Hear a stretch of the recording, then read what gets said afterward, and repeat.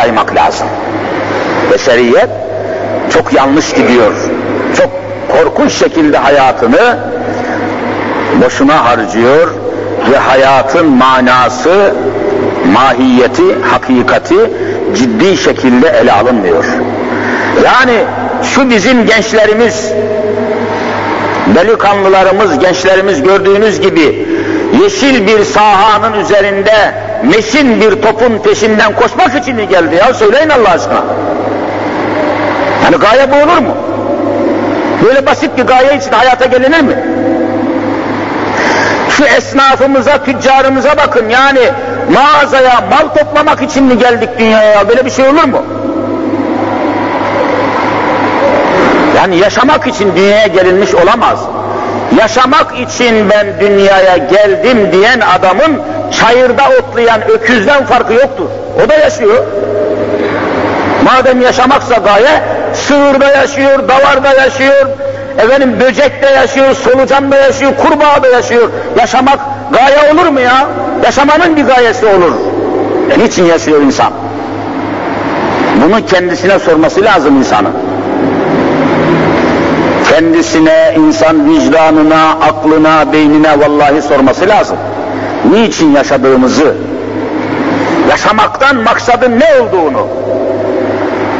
E, maalesef bu aile fertleri arasında çocuklara anlatılamıyor. Okullarda zaten böyle bir şey yok.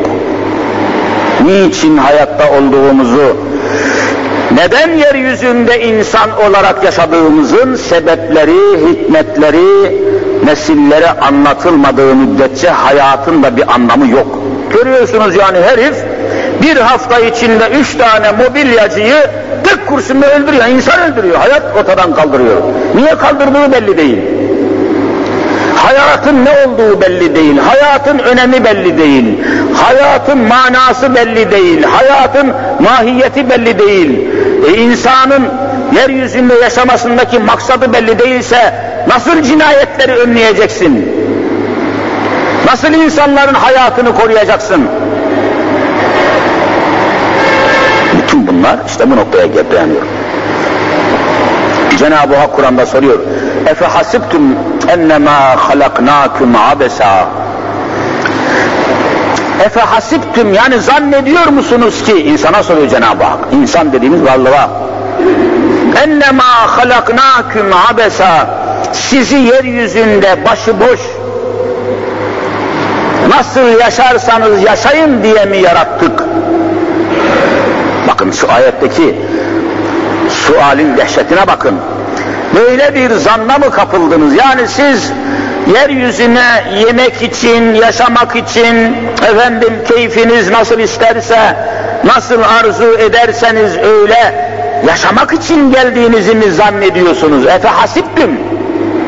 Böyle bir zan olmaz. O zaman hayvan olmakla insan olmak arasında çelişki içinde kalınır. Açıklayamayız hayatın ne olduğunu. Onun için peki hayata mana veren nedir? İnsan hayatına mana veren, anlam veren, değer veren, şeref veren, kıymet veren, önem veren nedir? Bunun bir tek cevabı var. Nedir? İman. İman, iman. İman olmadan hayatın manası siz söyleyin. Hayatın manası olmaz. Hayata mana veren cevher imandır. İman dediğimiz hadise. Onun için imanın önemi, imanın kıdemi, imanın ehemmiyeti anlatılmadan, öğretilmeden insanın da manası anlatılmış olamaz. Niçin yaşadığımız bu cevhere bağlı. Neden dünyada insan olduğumuz buna bağlı. Efendimiz buyuruyor ki قَوْلُ لَا اِلَٰهَ اِلَّا اللّٰهِ يُمْلِئُ mizan. Mizan ne demek? Mizan terazi Arapça. Mizan. Terazinin bir gözüne, hani terazide iki tane kefe eskiden şimdi elektronik teraziler çıktı, kefe de kalktı. Ama evvelce iki kefeli, iki taraflı teraziler olurdu. Terazinin bir gözüne kainatın tamamını mümkün olsa da koysanız ne varsa terazinin bir gözüne koyun Resulullah'ın değerlendirmesini söylüyorum.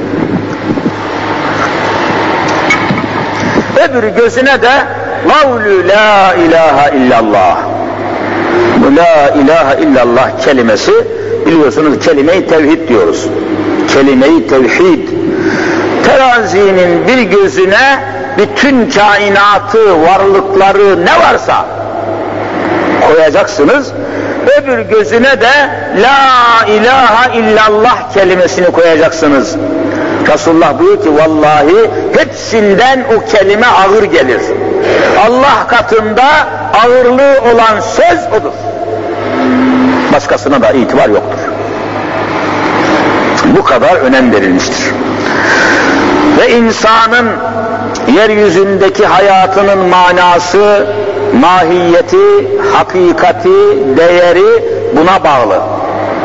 Bu olmazsa Cenab-ı Hak o insanı yaşamış saymıyor. İman etmemiş adamın hayatını Rabbim hayat saymıyor. Ülaike kel en'ami çayırda otlayan davardan farkı yoktur diyor. Kur'an-ı Kerim söylüyor ben söylemiyorum. Ülaike onlar kel en'ami en'am davar demek. Otlakta otlayan hayvan anlamına geliyor. E insan böyle olamaz. İnsanı böyle olmaktan kurtaran imandır. Kelime-i tevhid. Onun için cennet dediğimiz ebedi saadet cennete nail olmak dahi siz söyleyin neye bağlıdır? O da imana.